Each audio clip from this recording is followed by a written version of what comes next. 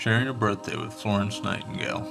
Martha Elizabeth Rogers was born in Dallas, Texas on May 12, 1914. She was the oldest of four children. Sometime later, her family moved to Knoxville, Tennessee. Her family valued education, and in 1931 she began attending the University of Tennessee. Wanting a program of study more substantial than a straight pre-med course, she enrolled in a science med course. After taking undergraduate courses for two years, she entered nursing school at Knoxville General Hospital, receiving her nursing diploma in 1936. She completed a Bachelor of Science in Nursing and Public Health Nursing from Nashville's George Peabody College in 1937. She worked as a public health nurse first in Michigan, then in Connecticut.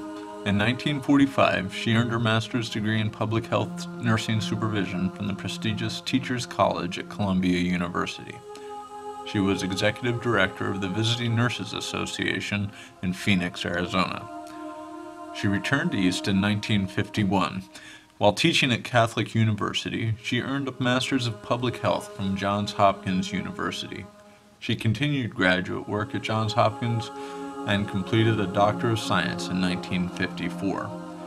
It was after this that she began her long tenure at the head of the Division of Nursing Education at New York University. Her strong background in sciences guided NYU to develop the nursing program as a distinct body of scientific knowledge.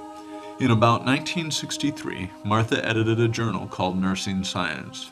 It was during that time that Rogers was beginning to formulate ideas about the publication of her third book, An Introduction to the Theoretical Basis of Nursing.